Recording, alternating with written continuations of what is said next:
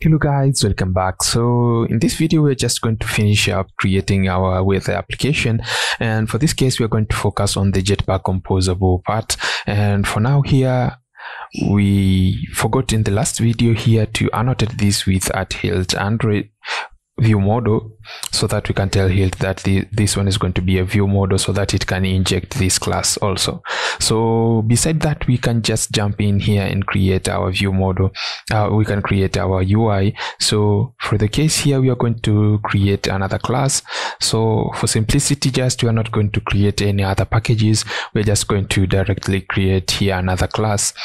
So we are going to call this daily daily weather home so you can try and create a component but our UI is just simple so we are just going to focus on this daily weather home and create all of our screen here. So let's create here another composable and this one we are going to call this daily. Okay now we can start coding here. So we can just create some room here. First we have to obtain the view model. So we can call this daily weather view model and then we can initialize this using the view model function. You you have to include the dependency which you have provided inside the build.gradle here. You can see we are using lifecycle view model compose in order to access this method. Now after that you have to provide this model class. And for this case here we are going to provide the daily weather view model. And for that case, we can access the view model inside the composable. Simple as that. Now we have to obtain the state which we have initialized inside the view model. So after we get this state, so we want directly to get the weather.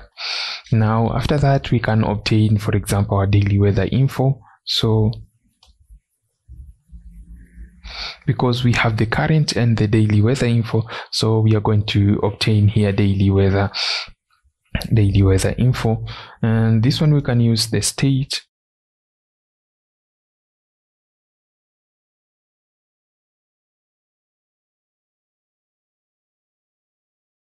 Now after that also the background color was something which has a gradient. So we have to create a variable that is going to be that of gradient color. So we are going to so you can just copy these two colors which we are going to use as our background color. Now for that we have to create our column which is going to host all of our composables. And here we can provide the horizontal arrangement.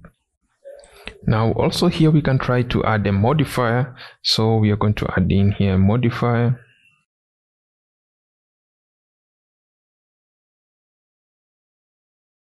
then we're going to specify a background color and here we are going to use a brush. And we can use a vertical gradient or anything which you wish. So for this case here we can pass in our gradient colors which we have provided here. So it accepts a list of of these colors. So now we want here to specify or to, to display the the UI when we have a certain state. So if we are loading, we are going to display a circular progress bar. So if successful, we display our result. And if we get an error, we have to display an error. So to do this, we are going to use the when statement to specify. So now we can write here when so we are going to use this state here because we have a state of weather. So we can come inside here so we can specify when this is going to be it is if it is loading and also here we have the state. If it is successfully and also if is error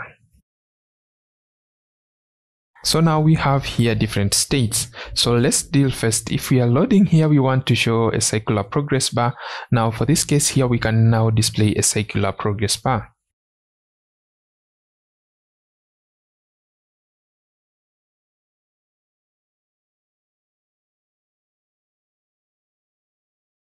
So we want to align this to the center in order to show us. So this one is going to be aligned by default to the top edge. So we want to align this to the center. So we can just give this arrangement center. And here it will be arranged at the center of the composable. Now, after that, here we want to display an error. So for our case, we are just going to log here the error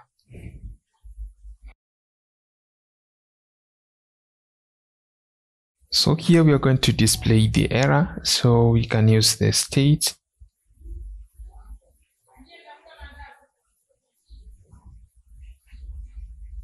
Oh we did forget. So we only have here data. So we can come here, we forgot here to make this variable val so that we can access it otherwise. So it's not going to be accessible. So you have to change this here to the message and add this val keyword here so after that here we have to pass in the message because we are going to pass in the error and we can display it here. So if you want to display for example and let the user know that there is an error has occurred so you can just do that here. Now after that we have to focus on the success part. So let's create here another composables which are going to be helper composables to display the current weather and also displaying the daily weather. Let's do this right now Okay, now let's create here our composables.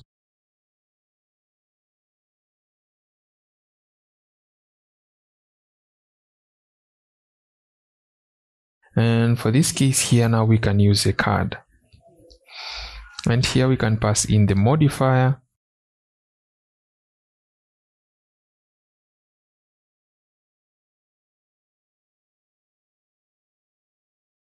So we want this to be transparent so that it can reflect the background color which has been provided by the by the composable which is holding this current card. Now, after that, we have created our background color. Now we can create a column that is going to arrange our text. So we can pass in the, here the horizontal arrangement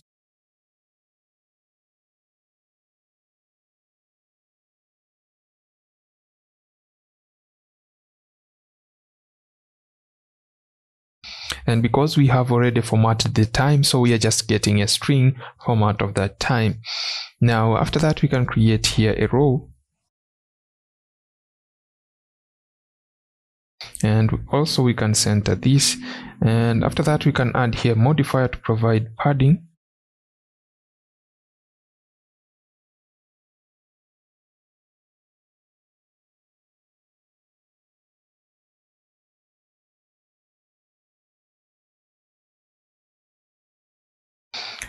okay now let's create here a column another column because we're going to display this in a row. So we want to also to display this text in a column format.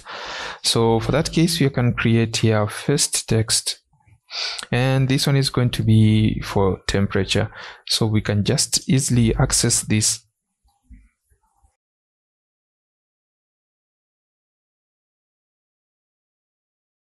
and also here we have to pass in the degree and you can use this by using this sequence escaping sequence format.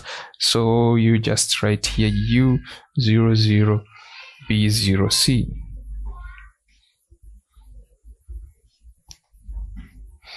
so this one is going to provide that degree format. So here we are escaping this and this one is going to provide that and here is going to be Celsius so for that we have created our text.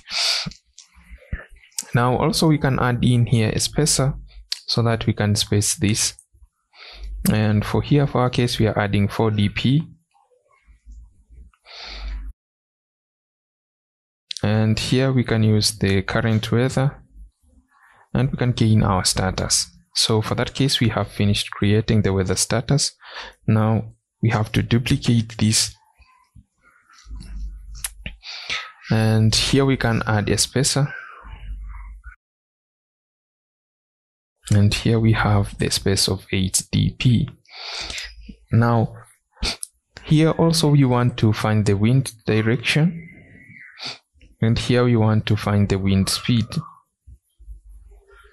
and this one is going to be double so we are going to convert this to string and also we can add this kilometer per hour because this one is displayed inside the website there. So after we have displayed here our column and text and also here we can provide a little bit of space. And here we can add 8 dp now we have finished creating our first card here. Now let's create the second card. This one is going to be the card of daily. So when we have daily weather card. Okay now let's create here our daily weather information card.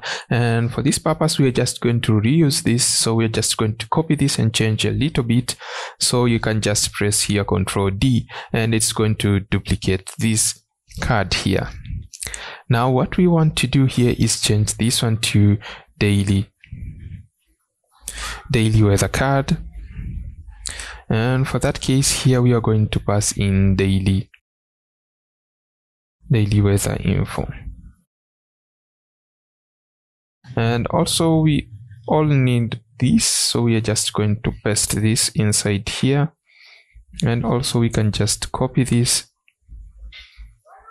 and paste them inside here and we can delete all of these and we don't want to align this to the center so we're just going to pass in here a modifier and pass in a padding of 4 dp now after that now we can start to customize here because here also we want this time to be centered there. So we are going to pass in here a modifier and we are going to pass in a modifier to fill max size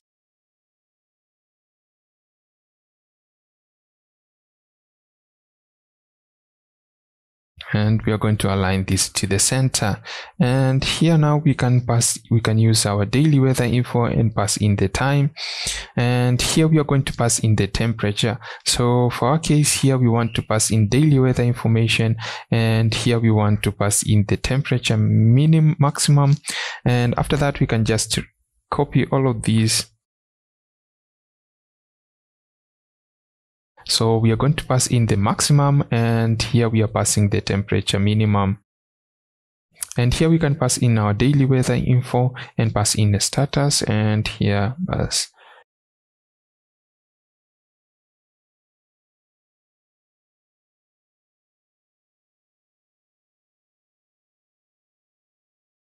Now here our weather card is just complete what has remained here is just creating now a place where we can just reuse this. So let's jump inside here now.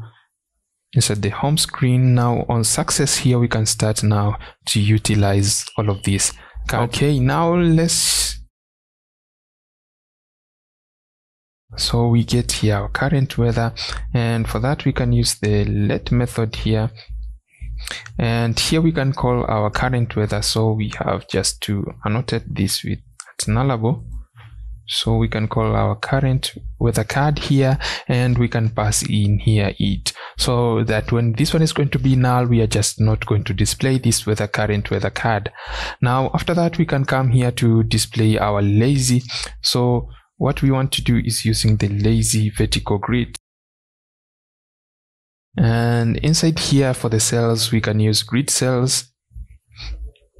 So there are different ways which you can use. Here we are going to use a fixed. So if you want to adaptive or fixed so i'm going just to use fixed. And we are going to have at most two amount of these.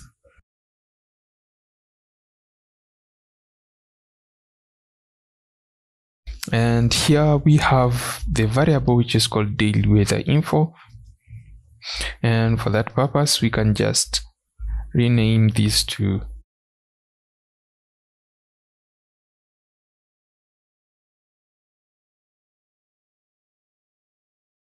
let's try and rerun our application and see if we are going to get any error.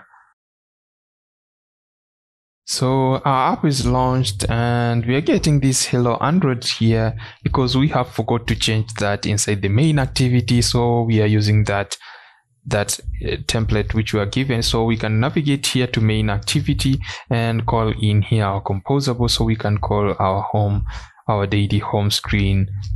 So if we want again we can rebuild and see what's the output we get. So now our app is launched and we have seen here the has been changing here and we have here our data. So we have got our application but if you look here this one they are not showing transparency. I think we have forgotten to just add that opacity. So we can come here to daily weather and we have been adding here to 1f so we want this to be 0.1f and not 1f and here we want it to be 0.1f let's try and relearn again now our app is launched and as you can see here we have obtained that opacity. So guys if you find value out of this video why not subscribe for more videos like this? And don't forget to like this video to make this video reach more developers. Bye bye for now. See you in the next video